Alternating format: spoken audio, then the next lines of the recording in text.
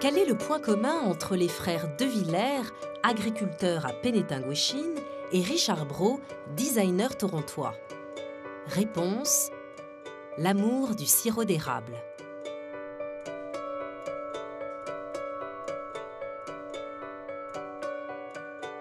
Les acériculteurs en taille. J'ai vraiment besoin, c'est le plus 5 durant le jour, puis le moins 5 durant la nuit. Puis il faut que ça serve entre le, dans le 24 heures. Pas une semaine de plus 5 puis une semaine de moins 5. Il n'y a rien qui arrive. Ici, on est un endroit où tous les, tuyaux euh, ils se rencontrent et puis pour qu'ils rentrent euh, à cabane à sucre. Le designer, lui, sculpte. Nous, on a choisi de, créer des produits en sucre d'érable de haute gamme, qui sont modernes, contemporains, élégants, qui se présentent très bien. Chez les De Villers, on aime la tradition. Chez Ninutic, on préfère la modernité. La présentation, oui, traditionnelle du sucre d'érable et du sirop d'érable est une présentation, disons, habitante ou euh, du bon vieux temps. La feuille d'érable qu'on voit sur tous les flacons, c'est un symbole très accepté dans notre culture et on la voit toujours. C'est un symbole qui n'a pas changé depuis peut-être 50 ans. Euh, et, c'est pour ça qu'on a décidé de, revisiter, disons, la présentation du sirop et du sucre d'érable.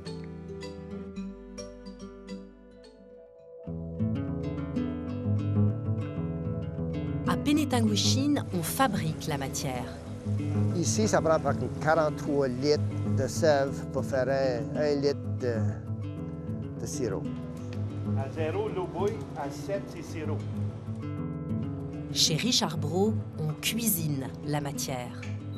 Les défis de travailler avec le sirop sont quand même assez nombreux. On travaille avec seulement un ingrédient, ce qui est l'eau d'érable ou le sirop d'érable. Alors, c'est notre matière première.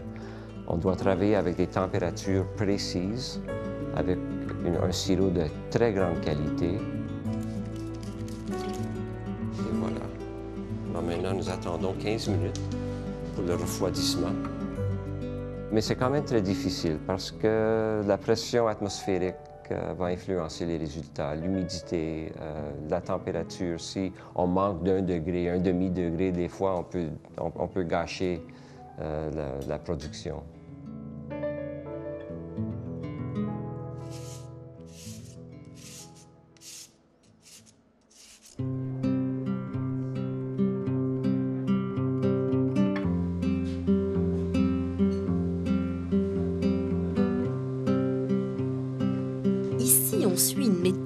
Ancestrale. J'ouvre sous ta plat, j'ouvre sous ta plat. Quand je rouvre ça le le sirop va sortir, va rentrer dans la pompe, va commencer la pompe. Le commencement de la saison, la qualité de la sève est très bonne, donc euh, ton sirop va être plus clair.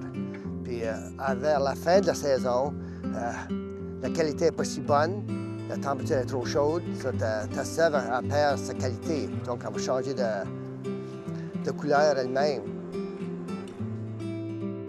Chez Ninutic, on explore, on innove. On la présente soit dans une boîte noire, comme ça, un cadeau très masculin, qui se présente très bien. Les hommes l'aiment. C'est comme un orange, c'est comme une balle de baseball. Et si le sirop des uns est vendu à l'érablière même, celui des autres est exposé sur les tablettes des musées.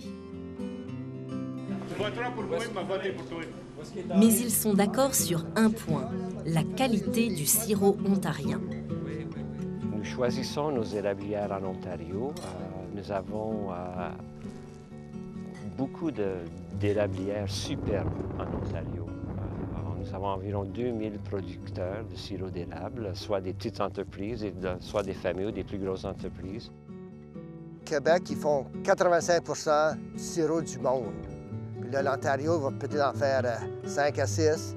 Puis là, euh, les États-Unis vont peut-être faire un autre 5-6. Puis là, le New Brunswick va faire un autre 5. La qualité est semblable. Mais moi, je dit que l'Ontario est bien meilleur. ils font trop vite, les autres. Ils sont trop pressés. Et ils parlent de l'érable avec la même passion que les vignerons de leurs vignes. On peut certainement comparer le sirop d'érable au vin, oui, parce que même si les érables à sucre vont pousser euh, au Québec, en Ontario, au Vermont, à New York, au Nouveau-Brunswick, c'est aussi une question de terroir. Hein? Le sol, le climat, tous les facteurs qui vont influencer, disons, la récolte du vin vont aussi influencer la récolte de, l'eau d'érable. Alors, en ce fait-là, on va, avoir des années qui sont euh, meilleures que d'autres années. L'année passée, c'était considéré comme une année très pauvre. Ça, c'est à travers la province, à travers des, États, à cause que la température n'était pas coopérative. Ça ne voulait pas marcher. C'était trop chaud.